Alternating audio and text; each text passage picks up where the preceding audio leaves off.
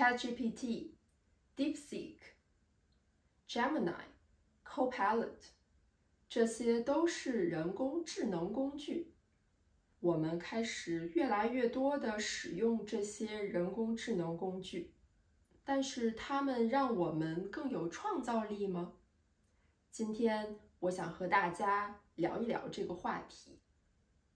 最近我看到了一个研究，很有意思。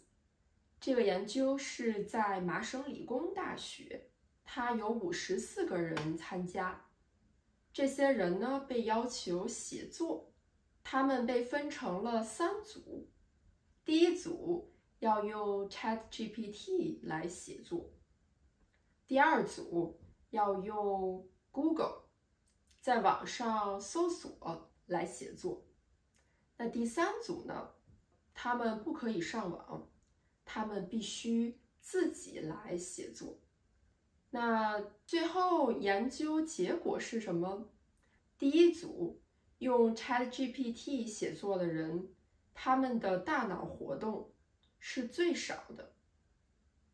而第三组不用任何工具，完全靠自己来写作的人，他们的大脑活动是最多的。看了这个研究之后，我开始思考，人工智能对我们的大脑有什么影响？它是不是让我们更有创造力呢？今天我想和大家分享我的看法。我们先聊一聊人工智能好的方面，然后再聊一聊它不好的方面。我也会和大家分享我自己的经历。好，那我们先开始说说好的方面。第一点，我觉得人工智能。可以帮我们节省时间。那举个例子，比如说你晚上想做饭，但是你不知道做什么好，你可以打开冰箱，拍一张照片，然后把照片上传到 ChatGPT，让它给你一些食谱。那 ChatGPT 会看你的照片。看你的冰箱里都有什么食物，然后他会给你分享食谱，这样呢可以帮你计划你的晚餐。那还有比如你要去旅行，你想要做一个旅行的计划，你也可以问 ChatGPT，让他帮你做计划。在工作中，人工智能可以帮我们做会议记录。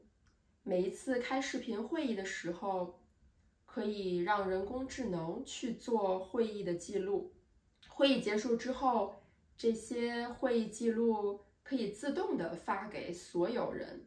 我觉得像这些比较枯燥的任务，用人工智能非常好，它可以帮我们节省时间，让我们更有效率。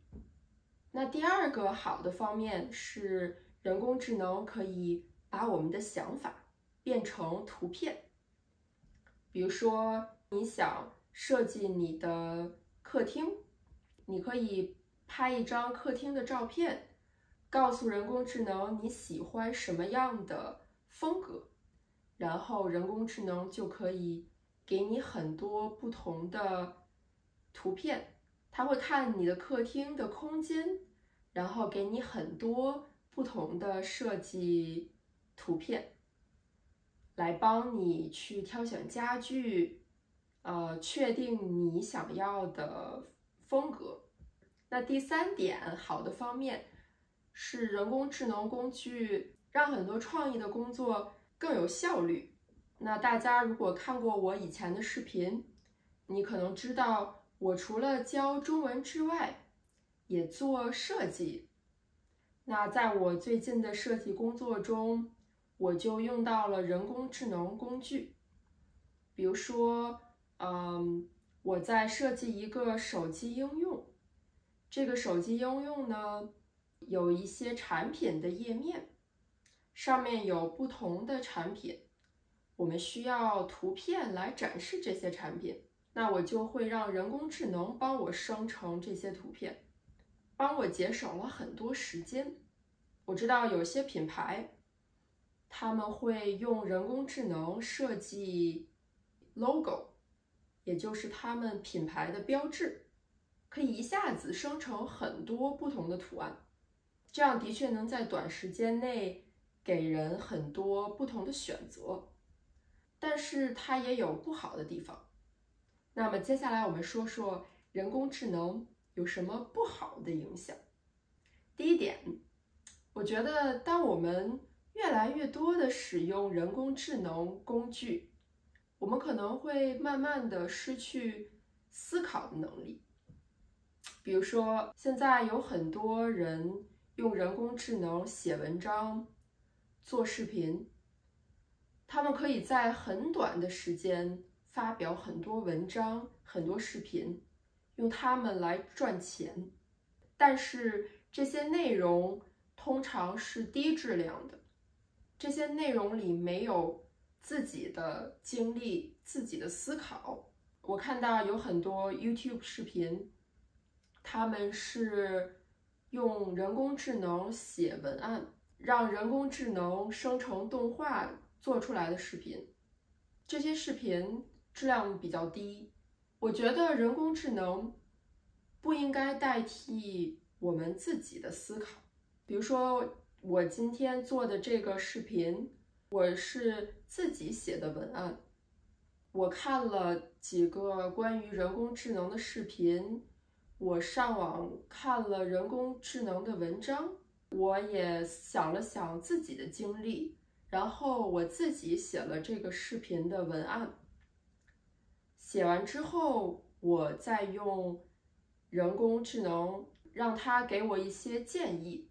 如果我们完全依赖人工智能，直接让人工智能帮我们写作、帮我们创造的话，那我们创造出来的就像是流水线上生产的产品，就没有了自己的独特的地方。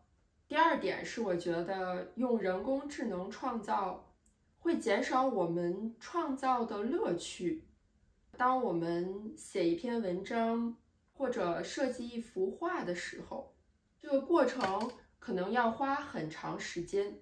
比如说，你在写文章的时候，你可能写着写着不知道要写什么，你觉得一下子。没有了想法，没有了灵感，那这个时候你可能会出去散散步，你可能会泡一杯茶，在这个过程中，你可能突然间就有了一个想法，有了一个灵感，让你觉得很兴奋，想要马上把它们记录下来，继续你的创造的过程。我觉得这个这个过程从没有想法到突然间有想法的过程是非常有意思的。但是当你用人工智能工具的时候，你可以在几秒钟的时间就得到很多不同的想法。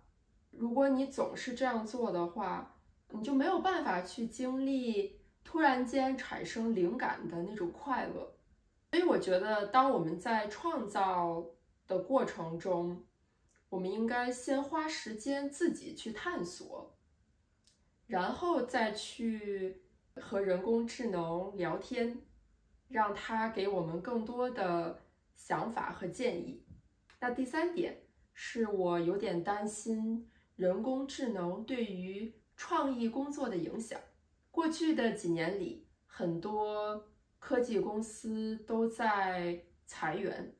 他们在使用很多人工智能的工具，他们裁掉了很多设计师、程序员等等的岗位，在短时间内，这些公司节省了很多开支，他们节省了很多钱，这样呢，提高了他们的利润，但是很多设计师。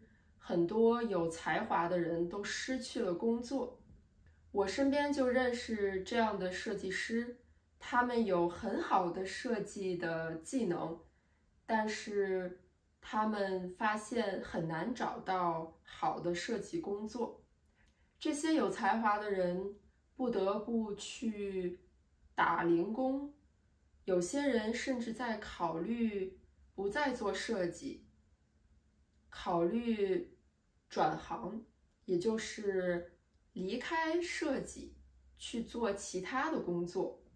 那么我也看到有很多学生，当他们在考虑大学的时候学什么专业，有的人虽然很喜欢做创意类的事情，但是他们不敢选择设计和艺术类的专业，因为他们觉得这些专业以后很难找到工作。那这让我觉得有点难过。我希望喜欢创造的人可以有更多的机会做他们喜欢的工作，而不是让人工智能减少他们的工作机会。